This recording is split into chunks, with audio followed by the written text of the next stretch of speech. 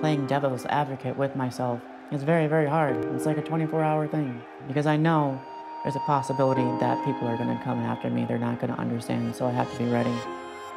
It's like MMA, be ready. In Oklahoma, they know me as the basketball player and they get a sense of who I am as a person through basketball, but still feels like they don't know the real me. Yeah! Here, you have to have your game face on. Fallon.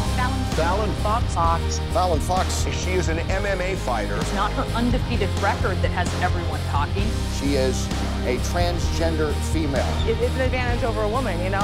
Oh, that's oh. it, Fallon Fox. Some people believe I have an automatic advantage, but if they look into the science of it and what the hormones do to the body, it dissipates. I'll whip her. I mean, I'll whip him. Some of society just doesn't get it yet.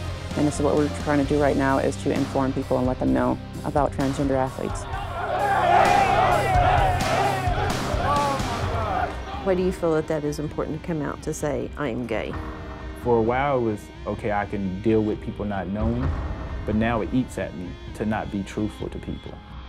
I just, I don't know how to go about it.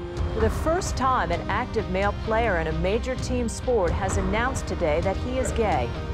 How's it going, man? Good, good. I applaud you for having that strength to, you know, accept who you are, because it took me a long time. There's no love here in Miami for Fallon Fox. How many trans people can go out there be an MMA fighter? It's so hard. It's going to take time to actually get to where we really, really know each other. I don't know what I'd do without her.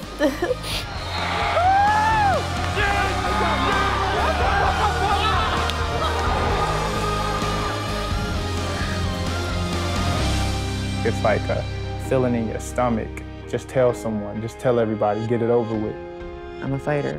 You fight until the fight's done. You fight until it's, it's the end. And that's what I'm doing. I'm to fight until the end. I'm not to take the easy ride out.